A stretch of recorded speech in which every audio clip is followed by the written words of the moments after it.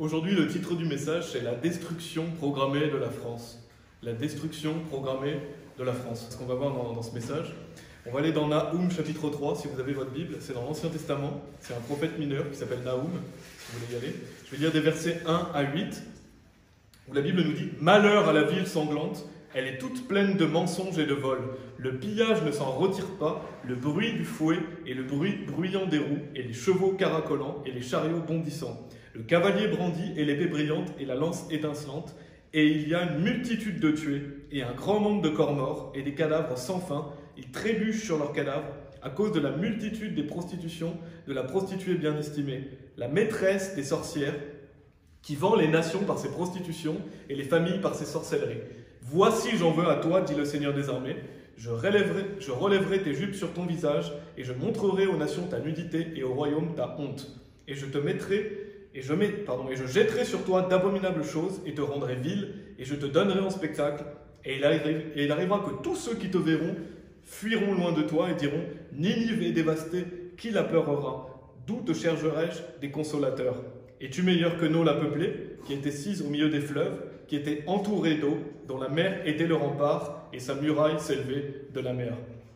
Et un peu plus loin, verset 19, à la fin du chapitre, il est dit Il n'y a pas de guérison à ta blessure, ta plaie est grave, tous ceux qui entendent parler de toi battent des mains sur toi, car sur qui ta perversité n'a-t-elle pas continuellement passé? On voit dans ce passage la destruction de Ninive. Donc Dieu montre que cette ville va être détruite. C'est une ville très malsaine, on peut le voir à travers ce passage, où il y avait de la perversion, elle était remplie d'injustice, remplie de meurtres, donc c'était une juste récompense pour sa perversion. Et à qui cela nous fait penser, parce que là c'est une ville, mais à quelle nation cela peut nous faire penser? Bah, À la France. C'est ce qu'on va voir aujourd'hui. La France, c'est la première partie que je veux faire, est un pays de perversion. C'est un pays sanglant. C'est un pays où il y a beaucoup de mensonges, beaucoup de vols, beaucoup de prostitution et de sorcellerie. Et on va voir ça en chiffres. J'ai noté quelques chiffres. J'ai noté des chiffres sur la France, justement. Et je vais vous donner quelques chiffres. Bien sûr, c'est quelque chose qui est vraiment pas réjouissant, mais c'est la réalité, la vérité de ce qui se passe en France. Donc, la violence en général. Quel est le niveau de violence en France? Alors j'ai noté qu'en 2018, il y a eu 812 000 personnes âgées de 18 à 75 ans, donc c'est des gens en plus adultes, on ne comptabilise pas les moins de 18 ans, en France métropolitaine, qui déclarent avoir été victimes de, qui déclarent avoir été victimes de violences physiques ou sexuelles. Donc en France, 812 000 personnes de plus de 18 ans disent avoir été victimes de violences. Donc c'est un chiffre qui est vraiment conséquent et vraiment énorme. Ça c'est pour la violence en général. J'ai noté au niveau des vols, en 2018, 1,1 million de personnes âgées de 14 ans ou plus ont déclaré avoir été victimes d'un vol ou d'une tentative de vol. Donc il y a plus d'un million de Français qui ont, qui ont été victimes de vol. Donc le vol est vraiment quelque chose qui est répandu en France. Les avortements, donc les avortements, il y a eu 232 000 avortements pour l'année 2019, un peu plus que l'année d'avant en 2018 où il y en a 224 300. Et donc en 2019, c'était le niveau le plus haut qu'ait connu la France. Et j'ai fait un calcul, j'ai regardé à peu près entre 1980 et 2018, donc un peu moins de 30 ans. J'ai voulu calculer combien il y avait eu d'avortements en France. Et ben, il y a plus de 6 millions d'avortements. Donc ça veut dire qu'en moins de 30 ans, 6 millions de bébés ont été tués. 6 millions de personnes innocentes ont été tuées. Donc 6 millions de meurtres en moins de 30 ans. Donc c'est énorme. J'ai noté l'adultère aussi. 43% en France en 2016. Le cinquième pays du monde. Donc pour les Français, c'est normal, l'adultère est quelque chose de normal. 43% de Français pratiquent ça. Donc c'est dégoûtant. Au niveau des viols, le nombre de viols constatés en France a augmenté d'un tiers en deux ans, passant de 18 800 faits en 2018 à 24 800. Donc c'est une moyenne de plus de 67 viols par jour, ce qui fait à peu près 3 viols toutes les heures. Donc en France, 3 personnes sont violées toutes les heures. Donc c'est vraiment quelque chose encore de dégoûtant, de répugnant. Au niveau de l'inceste aussi, deux nouvelles enquêtes pour l'association Face à l'inceste en 2020.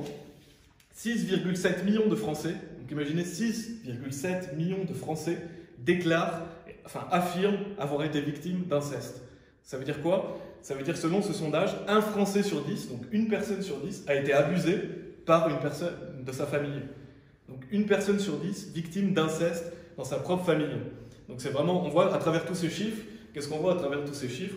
Que la France est un pays dégoûtant, un pays répugnant, rempli d'injustice, qui est malsain.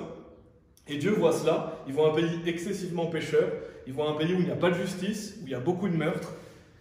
Et, donc qu'est-ce qui se passe? On peut se demander qu'est-ce qui se passe pour des nations comme la France Eh bien on le voit notamment avec Ninive, mais on le voit aussi avec d'autres villes et d'autres nations au niveau de la Bible.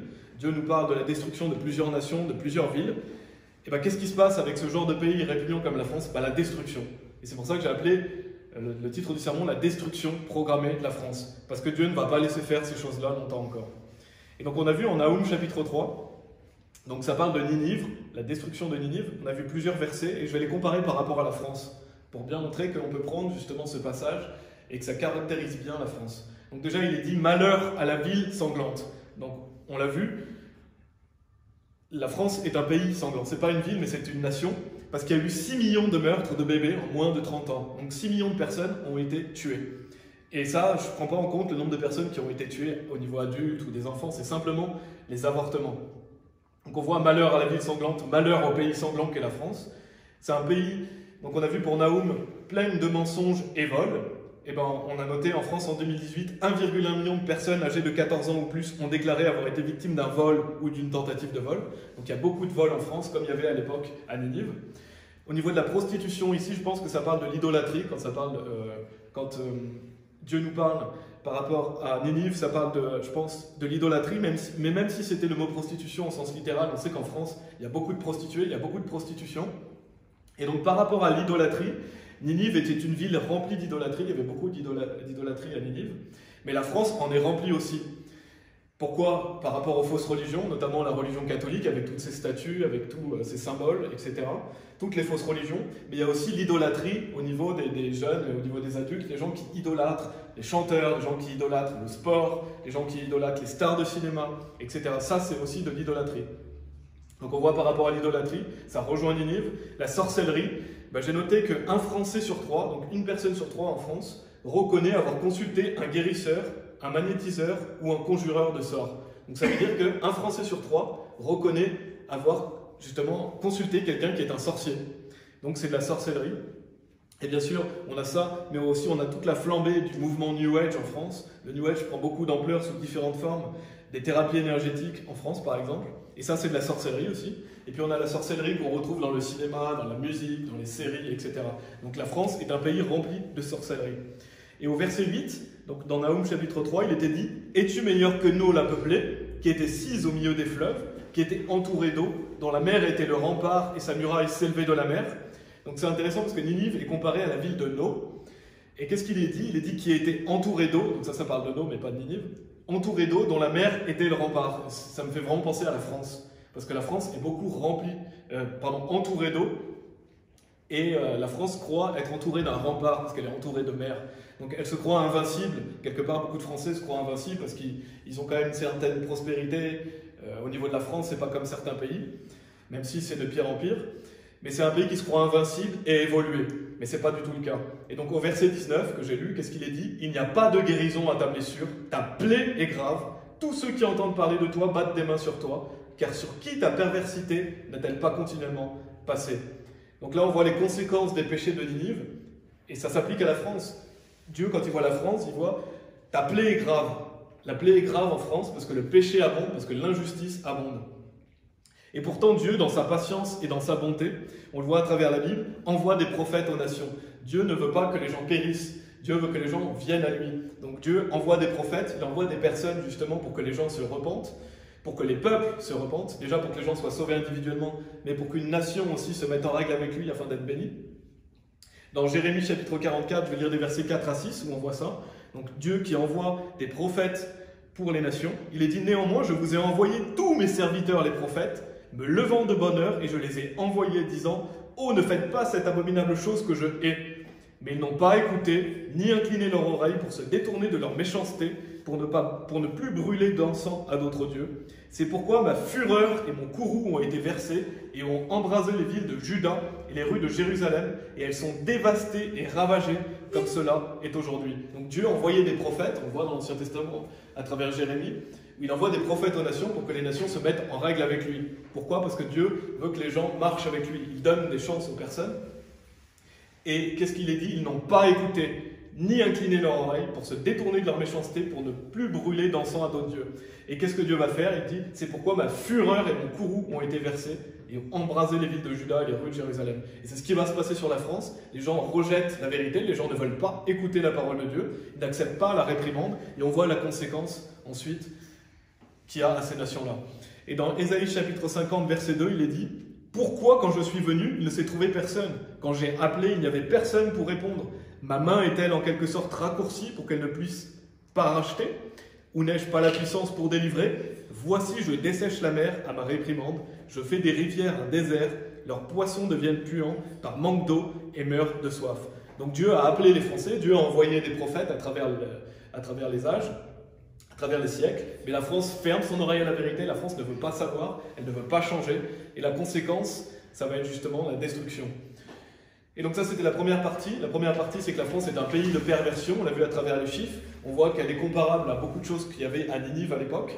On voit que les Français ne veulent pas écouter alors que Dieu a envoyé des prophètes. Et donc la deuxième partie, c'est que la France rejette la vérité. La France rejette la vérité. Donc on a vu à travers les chiffres ce qui montre la perversité de la France. Et donc non seulement la France est un pays malsain, mais c'est aussi un pays qui rejette la vérité. Notamment, j'ai noté l'athéisme en France la France est dans le top 5 des pays athées. Donc euh, il y a eu 50 pays qui ont été interrogés. La France fait partie du top 5 des pays athées dans le monde. Elle tient la quatrième place. Ça veut dire que la France est le quatrième pays le plus athée au monde, derrière la Chine, le Japon et la République tchèque. Ça veut dire que 40% des gens en France disent Dieu n'existe pas. Tout simplement, ils rejettent l'existence même de Dieu. Presque un Français sur deux rejette même l'existence de Dieu. Et ça, c'est ce que, les chiffres que j'ai trouvés sur Internet. Et il y a bien sûr aussi beaucoup de fausses religions en France. Mais c'est quand même invraisemblable de, quand on se rend compte que presque une personne sur deux, vous allez vers une personne sur deux, est athée. Presque une personne sur deux, parce que c'est 40%. Mais 40% des gens en France disent non, Dieu n'existe pas. Et qu'est-ce que dit la Bible en Romains chapitre 1 Vous pouvez aller dans Romains chapitre 1 si vous voulez. Dans le Nouveau Testament, Romains chapitre 1. On va lire à partir du verset 18. Je vais parler un peu justement de cette rejection du fait que Dieu existe, du fait que la, France est un pays grandement athée, et qui est le quatrième pays le plus athée. Qu'est-ce que dit la Bible en Romains chapitre 1, verset 18 à 22 Car le courroux de Dieu est révélé depuis le ciel contre toute impiété et injustice des hommes, qui retiennent la vérité dans l'injustice, parce que ce qui peut être connu de Dieu est manifesté en eux, car Dieu le leur a montré, car les choses invisibles venant de lui depuis la création du monde sont clairement vues, étant comprises par les choses qui sont faites, c'est-à-dire son pouvoir éternel et sa déité, de sorte qu'ils sont sans excuse. Parce que lorsqu'ils connurent Dieu, ils ne le glorifièrent pas en tant que Dieu, ni ne furent reconnaissants, mais devinrent vains dans leur imagination, et leur cœur insensé fut euh, obscurci. Professant être sages, ils devinrent insensés. Donc la Bible est claire, l'existence de Dieu, elle elle est clairement visible à travers sa création. Il est dit, car les choses invisibles venant de lui depuis la création du monde sont clairement vues, étant comprises par les choses qui sont faites. Donc quand on voit la merveilleuse création, quand on voit la nature, quand on voit la complexité de l'être humain, quand on regarde le ciel, on voit qu'il y a un Dieu créateur. Il faut être fou pour rejeter l'existence même d'un Dieu créateur. On voit que Dieu existe. On voit qu'il y a un Dieu à travers, à travers tout cela, parce que l'écosystème, par exemple, la nature, si vraiment vous étudiez cela, vous verrez que c'est vraiment complexe, et c'est quelque chose qui est magnifiquement orchestré, donc par le Créateur, bien sûr, par Dieu. Mais la France rejette ça. La France rejette qu'il y ait un Créateur. Pourtant, Dieu est visible, l'existence de Dieu est visible à travers sa création. Et Psaume chapitre 19, verset 1 nous dit Les cieux déclarent la gloire de Dieu et le firmament expose l'ouvrage de ses mains. Donc, quand on regarde le ciel, on voit que Dieu existe. quand on voit la beauté du ciel, quand on voit euh, le monde dans lequel on vit, les cieux déclarent la gloire de Dieu. Donc, quand vous regardez le ciel, vous dites Voilà, il y a un créateur. Dieu existe. C'est tellement beau, c'est tellement parfaitement créé. Et euh, en fait, il faut être fou pour rejeter l'existence de Dieu, tout simplement. Et donc 40% des Français sont fous. Psaume 53, verset 1 nous dit d'ailleurs L'insensé a dit en son cœur Il n'y a pas de Dieu. Ils se sont corrompus, ils ont effectué et ont effectué une abominable iniquité. Il n'y en a aucun qui fasse le bien. Donc, qui se dit dans son cœur Il n'y a pas de Dieu? L'insensé, c'est-à-dire le fou. Donc, une personne qui dit Dieu n'existe pas est un fou, selon la Bible. C'est un insensé, puisque Dieu justement, comme je l'ai dit, l'existence de Dieu se voit à travers sa merveilleuse création. Quand on voit le ciel, quand on voit les, œuvres, les œuvres merveilleuses que Dieu a faites, même quand on se regarde soi-même, parce qu'on est tellement complexe. Et bien sûr, la Bible dit aussi que Dieu a mis l'œuvre de la loi dans nos cœurs, c'est-à-dire qu'on a une conscience, on a la conscience du bien et du mal. Les gens, même s'ils ne croient pas que Dieu existe, quand ils font quelque chose de mal, s'ils ont encore une conscience, savent que c'est mal, parce que c'est Dieu qui a mis l'œuvre de la loi dans leur cœur. Donc les gens n'ont pas d'excuses, ils n'ont pas d'excuses, on l'a vu d'ailleurs, de sorte qu'ils sont sans excuses parce que le monde témoigne de la gloire de Dieu, mais aussi parce qu'on a la loi de Dieu dans nos cœurs, l'œuvre de la loi dans nos cœurs. Et on va aller dans le psaume chapitre 2, si vous avez l'Ancien Testament. Psaume chapitre 2, on va étudier quelques versets parce que ça décrit bien la France aussi. Et notamment cette idée que la France rejette Dieu. La France rejette la vérité. Et vous pouvez garder quelque chose en psaume 2 parce qu'on va y revenir. Donc je vais lire les versets 1 à 3 où la Bible dit Pourquoi les païens rachent-ils et les peuples imaginent-ils une chose vaine? Les rois de la terre se placent et les dirigeants prennent conseil ensemble contre le Seigneur et contre son oint, disant Brisons leurs liens et jetons leurs cordes loin de nous. Et notamment le verset 3, c'est celui sur lequel je vais souligner, décrit vraiment bien la France. Cette notion de brisons leurs liens et jetons leurs cordes loin de nous. Donc ça parle de quel lien et ça parle de quelle corde? Ça parle bien sûr de Dieu. On le voit au verset avant, les rois de la terre se placent et les dirigeants prennent conseil ensemble contre le Seigneur, donc contre Dieu, le Dieu trinitaire, le Père, le Fils et le Saint-Esprit, et contre son oint, donc contre Jésus-Christ, Jésus-Christ qui est loin de Dieu. Donc les gens justement, rejette Dieu. Il rejette le Dieu trinitaire de la Bible. Et comment on sait que loin est Jésus-Christ? Bah Dans Actes chapitre 4, on va aller dans Actes chapitre 4 des versets 25 à 27, parce que Jésus est loin de Dieu, il est le Christ. Quand il est dit loin, cela peut parler de Jésus-Christ. Parce que nous aussi, on est loin, parce que quand on a reçu l'Esprit Saint, on est loin de Dieu. Mais loin de Dieu, c'est Jésus-Christ. Acte chapitre 4, versets 25 à 27, il est dit Qui par la bouche de ton serviteur David a dit Pourquoi les païens s'enragent-ils et le peuple imagine-t-il de vaines choses? Les rois de la terre se sont levés, donc on voit que ça, ça reprend le psaume chapitre 2. Et les dirigeants se sont assemblés contre le Seigneur et contre son Christ. Donc au lieu de dire loin, il est dit Christ. Parce que loin de Dieu, c'est le Christ, c'est Jésus. Il est dit même après, car en vérité, contre ton saint enfant Jésus, que tu as loin, tous deux, Hérode et Ponce Pilate, avec les gentils et les peuples d'Israël, se sont assemblés. Donc loin, c'est le Christ, c'est Jésus-Christ. Donc les gens prennent conseil, enfin ici ce sont les rois de la terre, prennent conseil contre Dieu et contre Jésus-Christ. Donc on va étudier le verset 3 où il est dit brisons leurs liens et jetons leurs cordes loin de nous. Et euh, en France, quelque chose qu'on peut souligner, bien sûr c'est dans d'autres pays euh, aussi, je parle vraiment spécifiquement de la France, c'est que les gens ne veulent pas des règles de Dieu, ils ne veulent pas de la loi de Dieu, ils ne veulent pas de Dieu tout simplement. Ils ne veulent pas se soumettre à Dieu et ils ne veulent pas de la parole de Dieu. Les gens rejettent la parole de Dieu en France. Et pourtant, la parole de Dieu, c'est ce qui est pur. Bien sûr, la parole de Dieu est pure, elle éclaire les yeux, elle nous guide, elle nous enseigne. Sans la parole de Dieu, on est perdu, on est aveugle. C'est la manière dont Dieu a décidé de nous parler, c'est par sa parole. Donc si on rejette la parole de Dieu, alors on, rejette notre seul espoir tout simplement. On rejette notre Créateur. 1 Jean chapitre 5 verset 3 nous dit car ceci est l'amour de Dieu, que nous gardions ses commandements et ses commandements ne sont pas pénibles. Donc la parole de Dieu est pure, ses commandements ne sont pas pénibles. C'est quelque chose qui est bon pour nous. C'est quelque chose qui nous permet d'être heureux et prospère. Si on veut être heureux et prospère, on a besoin de la parole de Dieu. Deutéronome chapitre 12 verset 28 nous dit Observe et entends toutes ces paroles que je te commande, afin que tout soit bien avec toi et avec tes enfants après toi, à toujours, quand tu auras fait ce qui est bon et droit aux yeux du Seigneur ton Dieu. Donc on doit garder la parole de Dieu, on doit la mettre en pratique afin que tout soit bon avec toi, tout soit bien avec toi. Si on veut être bien, si on veut prospérer et être heureux, on a besoin de la parole de Dieu. Et il est dit, et avec tes enfants après toi, à toujours. Donc pour les générations futures aussi.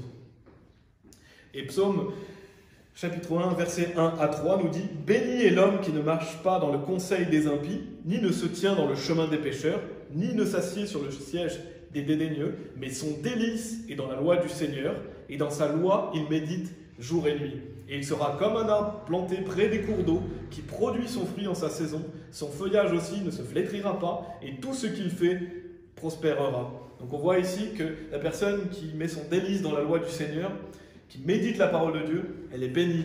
Elle est comme un arbre planté près des cours d'eau, elle donne son fruit, son feuillage ne se flétrira pas et tout ce qu'il fait prospérera. Donc sans la parole de Dieu, on ne peut pas avoir cette joie, on ne peut pas, on peut tout simplement pas être heureux en fait. Et donc les personnes, c'est ce qui est justement contradictoire, c'est que les personnes, notamment en France, croient être libres sans Dieu. Beaucoup de Français croient qu'ils sont libres s'ils rejettent Dieu. Ah moi je rejette Dieu, je veux être libre. Mais en fait c'est tout sauf être libre quand on rejette Dieu, c'est ce qu'on va voir. Parce que la parole de Dieu, nous rend heureux, elle nous permet de vivre une vie saine et prospère, et Dieu nous donne la liberté. Déjà, on a un libre arbitre, donc on a des choix qu'on peut faire dans notre vie. Dieu nous a donné un libre arbitre. On a le libre arbitre. Et dans Matthieu chapitre 11, versets 28 à 30, il nous dit Venez à moi, vous tous qui peinez et êtes lourdement chargés. Donc, ça, c'est Jésus qui parle. Il nous dit de venir à lui. Et je vous donnerai du repos. Prenez mon joug sur vous et apprenez de moi, car je suis docile et humble de cœur, et vous trouverez repos à vos âmes, car mon joug est facile et ma charge est légère. Donc le joug de Jésus-Christ est facile et sa charge est légère. Alors que le joug du transgresseur, c'est une voie qui est difficile. Les gens croient être libres sans Dieu, mais ils se mettent dans tout un tas de problèmes, et c'est ce qu'on va voir, ils sont serviteurs du péché. En fait, au lieu de venir à Dieu, au lieu que les Français viennent à Dieu et d'être heureux, ils se disent Ah non, en fait, on ne veut pas de Dieu, on veut être libre.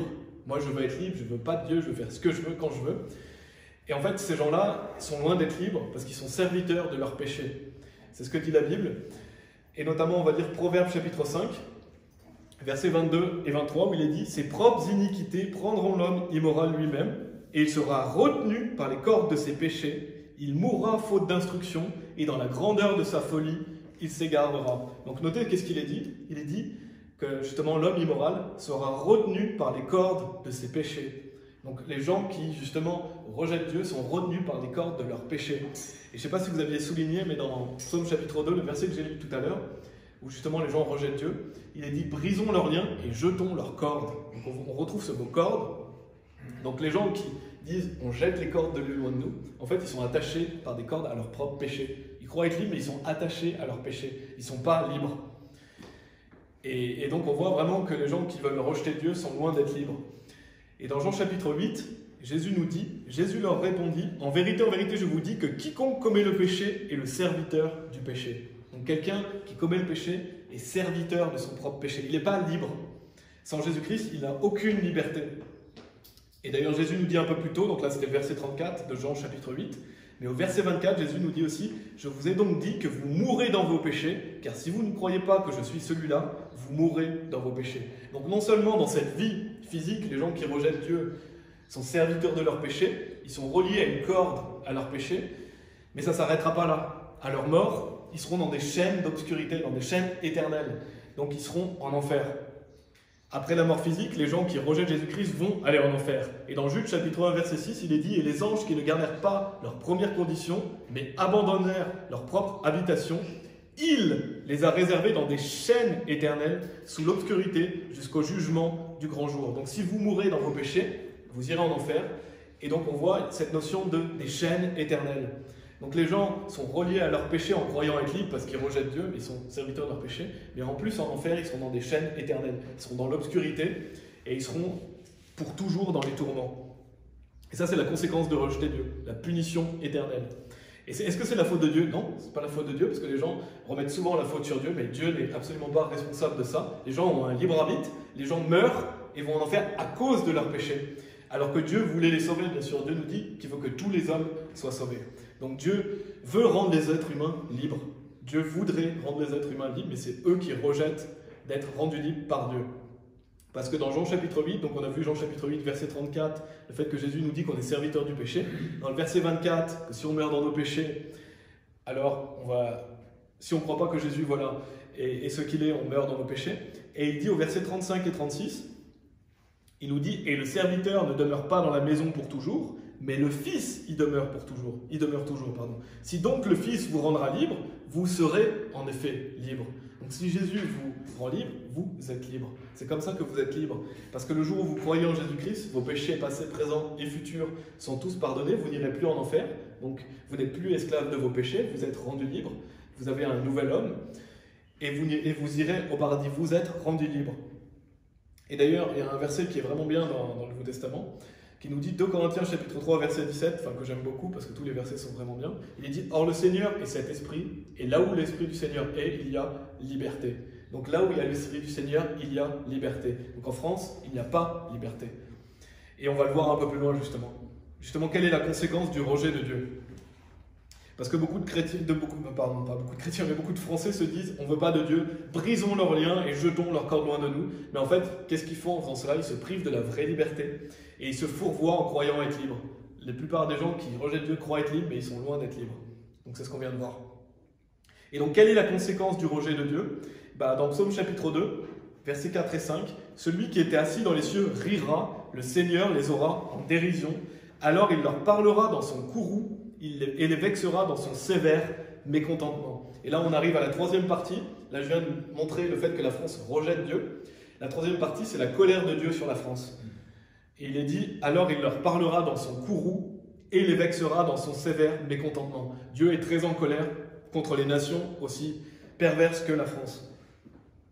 Déjà, pour, pour euh, introduire cette, partie de la colère de Dieu sur la France, il faut savoir que la colère de Dieu repose sur toutes les personnes non sauvées. Si vous n'êtes pas sauvés, Dieu est en colère avec vous parce que vous êtes encore dans vos péchés. Dans Jean chapitre 3, verset 36, il est dit Celui qui croit au Fils a la vie éternelle, et celui qui ne croit pas le Fils ne verra pas la vie, mais le courroux de Dieu demeure sur lui. Donc, si vous êtes encore dans vos péchés, il faut que vous sachiez que le courroux, ce qui veut dire une vive colère de Dieu, est sur vous. Pourquoi? Parce que vous êtes encore dans vos péchés. Donc, au niveau individuel, déjà, si vous n'êtes pas pardonné de vos péchés, le courroux, donc la vive colère de Dieu, est sur vous. Bien sûr, Dieu vous aime, mais il est en colère aussi parce que vous êtes encore dans vos péchés. Et Dieu veut vous pardonner vos péchés. C'est pourquoi il dit celui qui croit au Fils a la vie éternelle. Et donc, ça, c'est au niveau individuel. Maintenant, on va parler de la colère de Dieu sur la France. Et je pense qu'au jour d'aujourd'hui, si on est minimum honnête, on peut se dire que la, colère de Dieu sur la France est extrêmement grande. Je pense que la colère de Dieu en ce moment sur la France est extrêmement grande, comme on a pu le voir à travers ces chiffres et à travers où va la France. On, arrive à un point où justement la colère de Dieu qui pèse sur la France est très haute. On a lu le Romain chapitre 1 verset 18, il nous dit car le courroux de Dieu est révélé depuis le siècle contre toute impiété et injustice des hommes qui retiennent la vérité dans la justice. Donc la vive colère de Dieu, elle est révélée depuis le ciel contre toute impiété et injustice des hommes. Et en France, il y a beaucoup d'impiété, il y a beaucoup d'injustice. Tous les meurtres ne sont pas punis correctement. Toutes les, perversions qu'on a pu voir qui méritent la mort ne sont pas. Il n'y a pas de peine. Les gens peuvent commettre l'adultère sans aucune conséquence, pourtant c'est la peine de mort. Les gens peuvent tuer leur bébé, pourtant quelqu'un qui tue quelqu'un c'est la peine de mort. Donc la justice n'est pas faite en France. C'est un pays injuste. Donc on a vu à travers les chiffres. Donc on a vu la destruction de Ninive, donc on a vu la colère de Dieu qui s'est manifestée sur cette ville. Et donc on a vu que c'était comparable à de nombreux points par rapport à la France. Maintenant on va aller dans Ésaïe chapitre 1. Si vous voulez aller dans Ésaïe chapitre 1, c'est la destruction d'Israël, donc la destruction de la nation d'Israël. On va lire plusieurs versets pour montrer encore un parallèle avec la France. Parce que là, on parle de la colère de Dieu sur la France. Donc on l'a vu déjà à travers Ninive, on va voir à travers un autre passage aussi. C'est Ésaïe chapitre 1, versets 2 à 7, qui nous dit Écoutez aux cieux et prêtez l'oreille aux terres, car le Seigneur a parlé.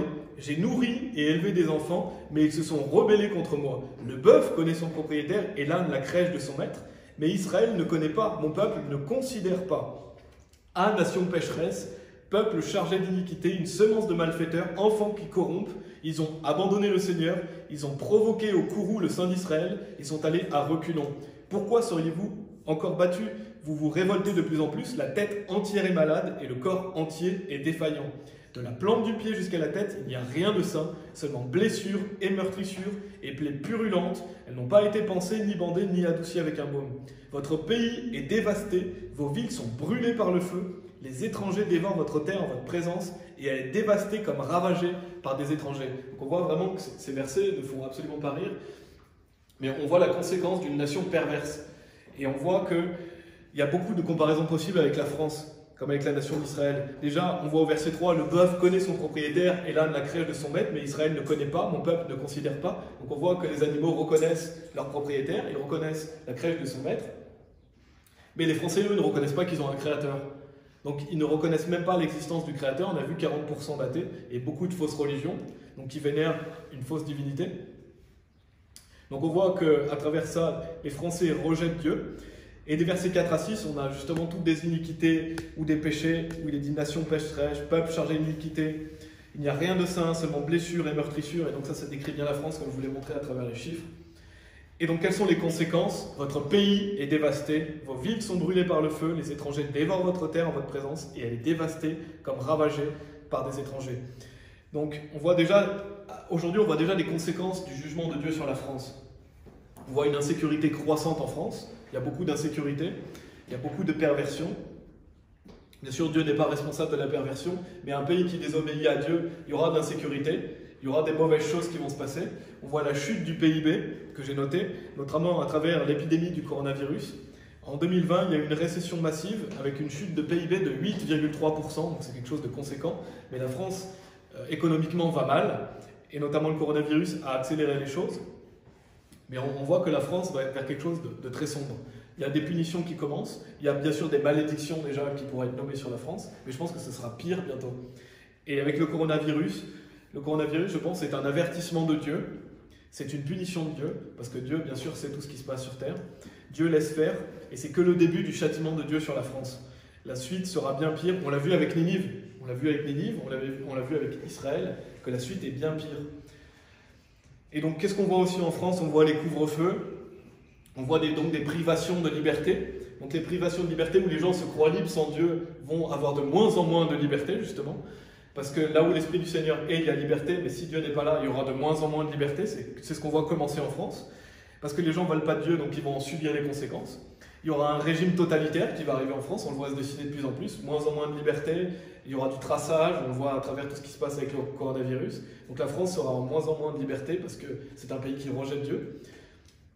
Et on voit aussi, je pense, que les vaccins sont aussi une punition de Dieu. Donc j'en ai déjà parlé, mais les vaccins, on ne doit pas se faire vacciner en tant que chrétien, mais les vaccins peuvent être vus comme une punition de Dieu parce que Dieu n'est pas responsable des vaccins, mais Dieu laisse faire.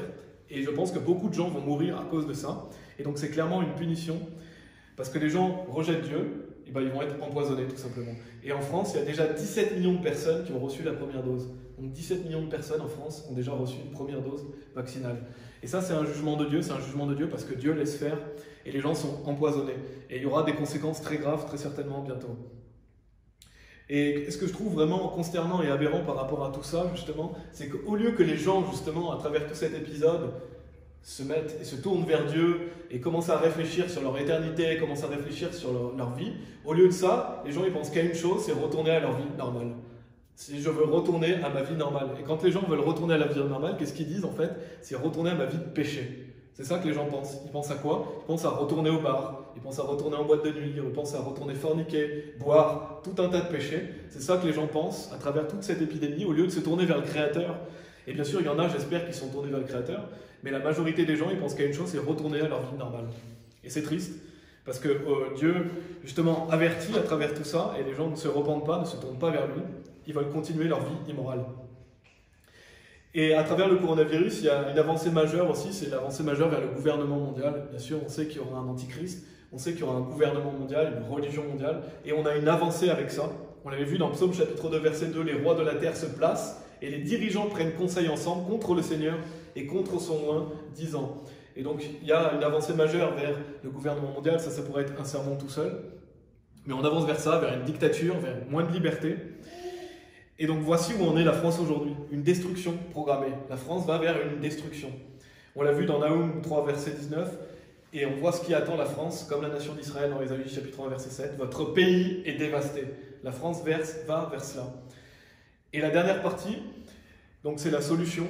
Là, on vient de voir la colère de Dieu sur la France. La solution, et ce que je veux souligner, c'est que je pense que c'est la solution déjà individuelle. C'est le salut individuel des personnes qui est importante en France. On l'a vu, Jean chapitre 3, verset 36. Celui qui croit au Fils a la vie éternelle, et celui qui ne croit pas le Fils ne verra pas la vie, mais le courroux de Dieu demeure sur lui. Donc si vous êtes sauvé, Dieu soit loué, vos péchés sont pardonnés, vous n'êtes plus de ce monde, vous allez aller au paradis. Et je ne vais pas donner l'évangile là, mais si vous ne savez pas comment être sûr d'aller au paradis, allez regarder la vidéo qui est sur l'accueil dans Christ et la vie qui explique clairement comment aller au paradis. Mais si vous êtes sauvé, alors Dieu soit loué, déjà vous irez au paradis. Une autre chose à noter, c'est qu'une fois que vous êtes sauvé, si vous marchez avec Dieu, si vous aimez Dieu, on a une promesse de Dieu dans Romains chapitre 8, verset 28 qui nous dit Et nous savons que toutes choses agissent ensemble pour le bien de ceux qui aiment Dieu, de ceux qui sont les appelés selon son dessein.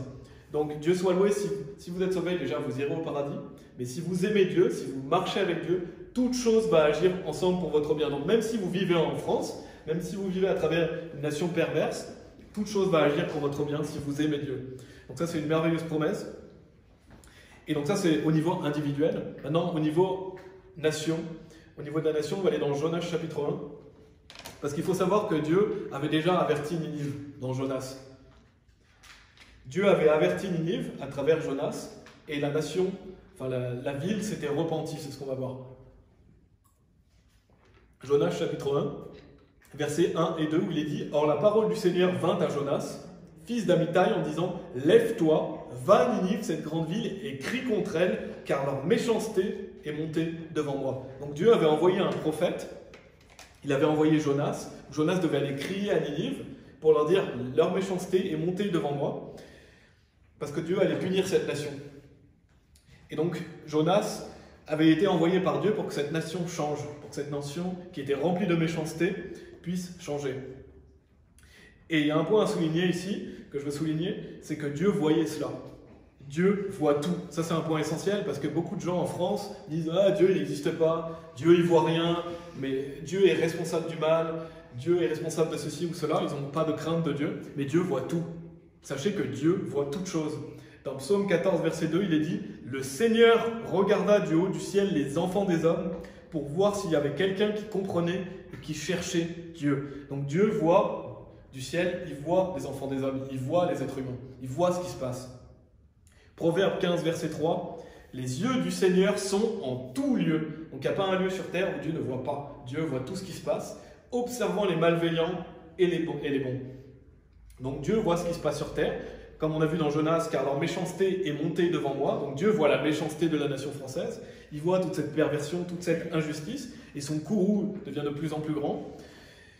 Et pourtant, les Français, comme dans Ézéchiel chapitre 8, verset 12, où il est dit Alors il me dit, Fils de l'homme, as-tu vu ce que font les anciens de la maison d'Israël dans l'obscurité, chacun dans les chambres pleines de ses images Car ils disent Le Seigneur ne nous voit pas, le Seigneur a abandonné la terre. Et les Français sont beaucoup comme ça. Le Seigneur ne nous voit pas, Dieu ne nous voit pas, de toute façon il n'existe pas. Et le Seigneur a abandonné la terre parce que les gens disent Ah, il n'y aura pas de justice, Dieu ne va pas punir. Ou alors ils disent que Dieu est responsable du mal qui se passe sur terre. Donc au lieu justement de changer, au lieu de, déjà de, se mettre en règle personnellement, c'est-à-dire croire en Jésus-Christ pour être sauvé, et puis vivre pour lui, eh ben les gens disent voilà, Dieu il ne voit pas, Dieu ne sait rien, mais si Dieu voit toutes choses. Psaume 58, verset 11, c'est un de mes versets préférés, nous dit si bien qu'un homme dira En vérité, il y a une récompense pour les hommes droits, en vérité, il est un Dieu qui juge sur la terre. Il y a un Dieu, Dieu existe, Dieu va récompenser les personnes qui œuvrent pour lui, et Dieu va punir, Dieu va juger la terre. En vérité, il est un Dieu qui juge sur la terre. C'est inévitable. Dieu va punir et va juger. Et donc on entend souvent parler de guerre civile en France. Et la plupart des gens, la réponse à ça, quand ils entendent parler de guerre civile, c'est vrai, il faudrait plus de paix, plus d'amour, plus, de solidarité, il faudrait s'entraider, s'aimer. Et en fait, c'est pas ça le problème. Le problème, c'est pas ça. Le vrai problème, il tient en un seul mot, et c'est péché. Le mot péché. Ça, c'est le vrai problème de la France, c'est le péché qui abonde. Le vrai problème de la France, pourquoi il y a autant de mauvaises choses qui arrivent sur la France? À cause du péché, tout simplement. C'est le péché que Dieu voit, qui monte devant lui, et qui fait que le courroux de Dieu augmente, et que cette nation va mal. Et il y aura encore beaucoup de choses. On a vu quelques chiffres sur la France, vraiment des chiffres qui sont vraiment effroyables, mais il y en a encore beaucoup qu'on pourrait noter sur tout ce qui se passe en France. Parce que la France est vraiment un pays, un repère d'iniquité, de perversion. Et c'est un peuple rebelle, parce que beaucoup rejettent Dieu, et les gens se croient sages, ils se croient intelligents, alors qu'ils ne le sont pas. Et pour en revenir à Jonas, on va lire euh, Jonas chapitre 3 pour voir justement que Ninive s'était repenti. Dans Jonas chapitre 3, versets 4 à 10, il est dit Et Jonas commença d'entrer dans la ville le chemin d'une journée, et Pardon, il criait et disait Encore 40 jours et Ninive sera renversée. Donc on voit que Ninive avait été averti et les gens de Ninive crurent Dieu. Ils proclamèrent un jeûne et se revêtirent de sacs depuis les plus grands d'entre eux jusqu'aux plus petits, car cette parole parvint au roi de Ninive, et il se leva de son trône et ôta de dessus lui sa robe, et se couvrit d'un sac et s'assit sur la cendre. Et il fit faire une proclamation, et on publia dans Ninive, par décret du roi et de ses nobles, disant que ni homme, ni bête, ni bœuf, ni brebis ne goûtent aucune chose, qu'ils ne se nourrissent pas et ne boivent pas d'eau, et que les hommes et les bêtes soient couverts de sacs et qu'ils crient puissamment à Dieu, oui, que chacun se détourne de son mauvais chemin et de la violence qui est dans leurs mains.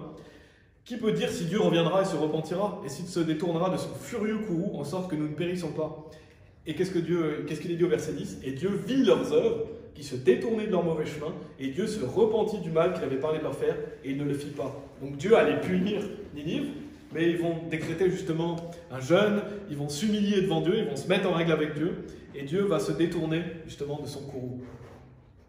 Et je pense qu'il y a déjà eu bah, beaucoup de Jonas en France. Il y a déjà eu des prophètes qui sont venus en France, il y a déjà eu des gens, il y a déjà eu l'évangile qui a été prêché, la France a déjà rejeté, rejeté, rejeté la vérité. Donc, Est-ce que la France peut faire comme Ninive? Je ne pense pas. Je pense que la, France est arrivée à un point de non-retour. Peut-être qu'elle pourrait décaler le jugement de Dieu, mais le jugement de Dieu va arriver sur la France, c'est inévitable. Et il y a une raison principale à ça. Ça pourrait être peut-être temporaire. Euh, j'y crois pas une seule seconde que la France va se mettre en règle avec Dieu. Si c'était le cas, il pourrait peut-être temporairement repousser le jugement de Dieu. Mais il y a une chose qui est sûre, c'est que le jugement de Dieu va arriver inévitablement. C'est parce qu'il y a eu trop de sang d'innocents. Et on voit dans la Bible qu'il y, a une conséquence quand il y a beaucoup de sang innocent, notamment à travers l'histoire de Manassé dans l'Ancien Testament.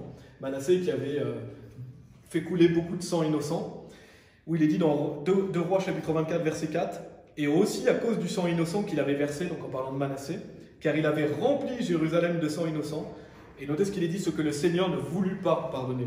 Donc on voit à travers cette histoire que Dieu n'a pas voulu pardonner tout le sang innocent qui avait été répandu. Et ça, on le voit, plus de 6 millions de bébés qui ont été tués en moins de 30 ans. Donc 6 millions de personnes tuées innocentes. Et ça, Dieu ne pourra pas pardonner. Ésaïe 26, 21 nous dit Car voici le Seigneur sort de son lieu pour punir l'iniquité des habitants de la terre.